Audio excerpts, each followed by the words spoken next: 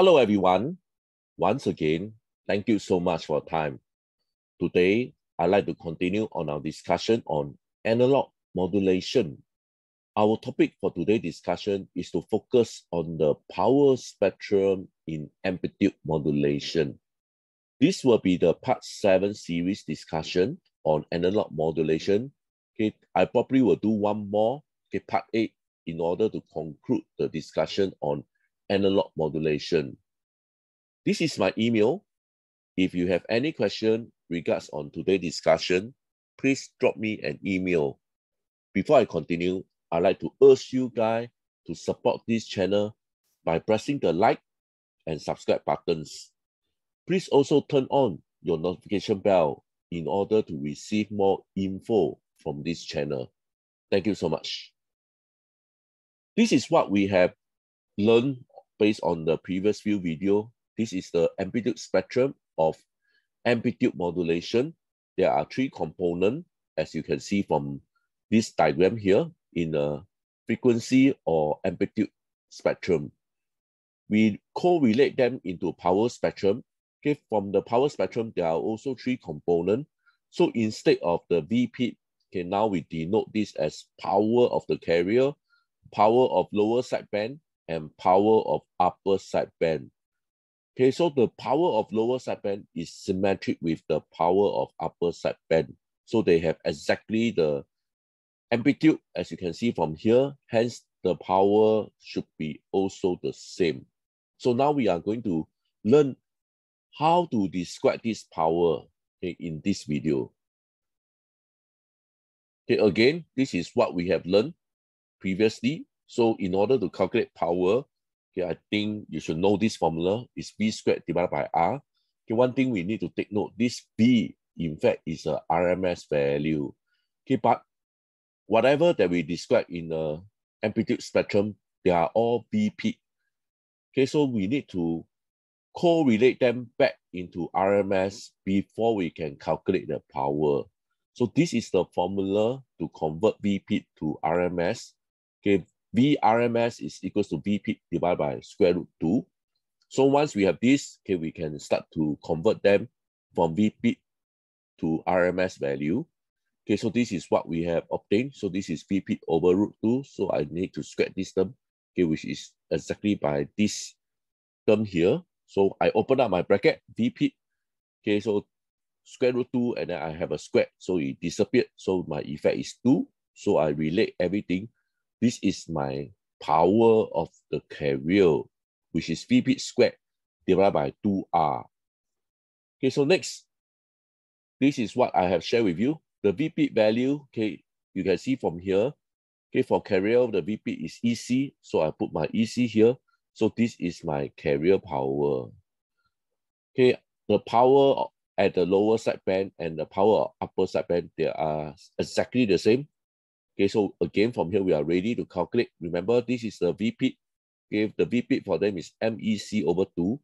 So again, this need to be squared. So this squared, EC squared, okay, and then 2 squared I become 4 divided by 2R.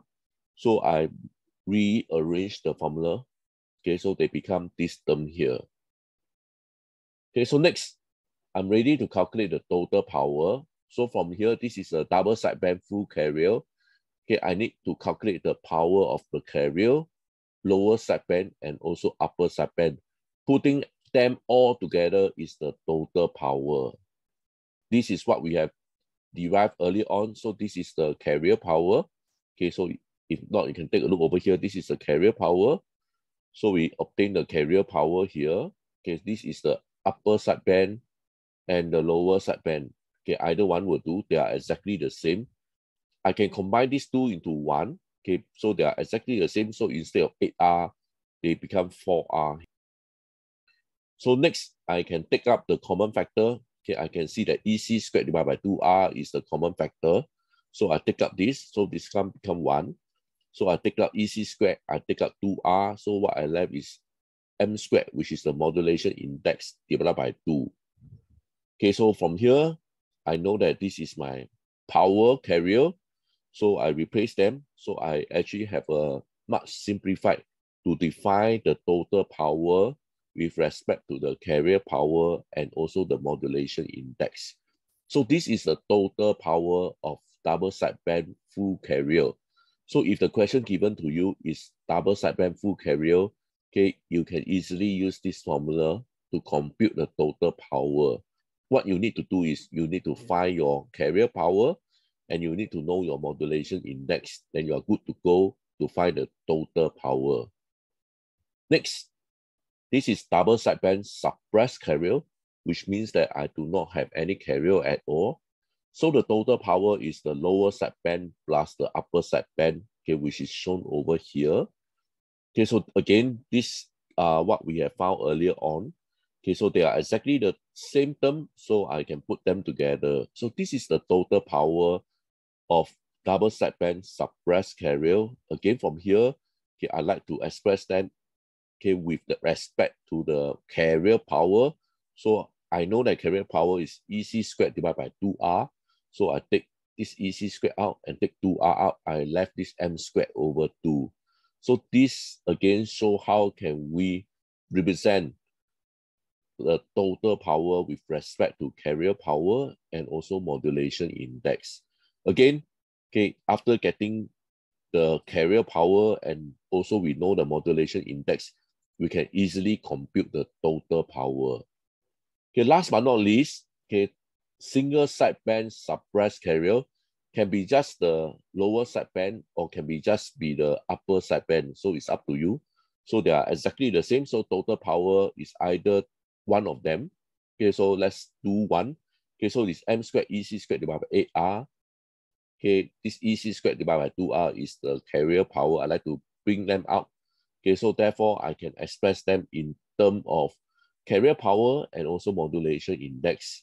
So from here, okay, you can also calculate the total power of single sideband suppressed carrier as long as you know the carrier power and also the modulation index.